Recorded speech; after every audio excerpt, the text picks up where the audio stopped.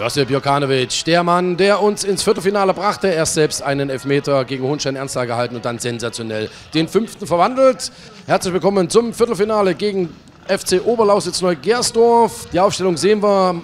Kamara Mohamed kann spielen im Pokal. Die Bank ist voll, also alles ist gesund und bereitet für ein gutes Spiel. Und die Neugersdorfer, die versuchten es immer über die Außen mit Flanken hinein. Wir sehen hier ein alter bekannter Bocajumo, war aber nicht so gut am heutigen Tage. Dann ansonsten sah es am Anfang so aus.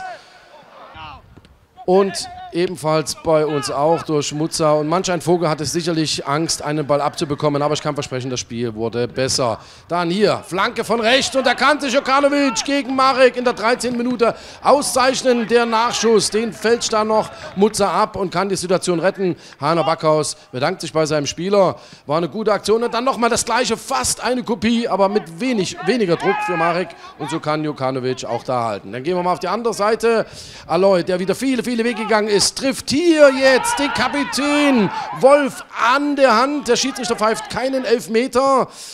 Und ich muss es vorwegnehmen, der Schiedsrichter war nicht am Ausgang des Spieles äh, beteiligt, also keine, keiner seiner Entscheidungen. Jetzt äh, gehen wir wieder zu uns, nämlich hier Aloy, und da sind wir schon in der 40. Minute, bringt Kimovi wunderbar in Position, aber da springt der Ball vorher auf und da geht der Ball am Tor vorbei. Und kurz vor der Halbzeit hier nochmal eine schöne Aktion von Ogen Gemischtas, aber es blieb beim 0 zu 0 zur Halbzeit.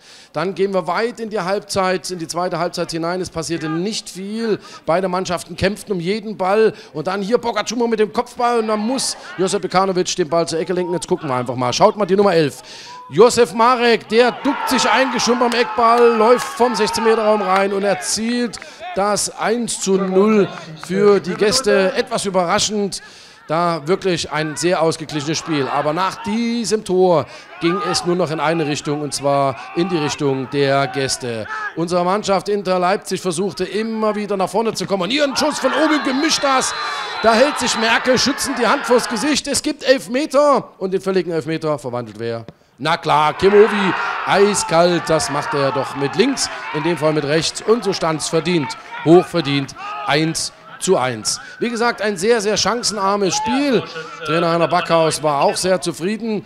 Und dann gab es hier diesen Freistoß kurz später. Kommt hoch hinein und dann springt Matula. Nee, der nimmt einfach mal den Kopfball zu und da springt der Ball vor Jokanovic auf und über ihn drüber. Traurig war er, weil so einen Ball, den darf man eigentlich nicht reinlassen. Und da sind wir schon jetzt in der 76. Minute. Da bekommt Aloy den Ball. Doppelpass mit Kim, holt sich den Ball und dann aus 17 Metern. Was für eine Fackel. Aber da David Pokorny kann seine Mannschaft vor dem Ausgleich bewahren. Heiner Backhaus versucht nochmal seine Jungs nach vorne zu schicken. Und das taten sie auch hier mit Kim Hovid. Schöner Ball wieder auf Aloy, der gelaufen ist wie ein Wilder, wie alle auch. Dann hier Hacke, Hairola und von hinten kommt Muza. Aber auch da, den hält Pokorny fest. Das war in der 89. Minute. Und am Ende siegt der Regionalligist, aber der überhaupt nicht so aufgetreten ist, sondern beide Mannschaften ein sehr gutes Spiel gemacht, vor allen Dingen in den Abwehrreihen und am Ende gewinnt der glückliche Sieger.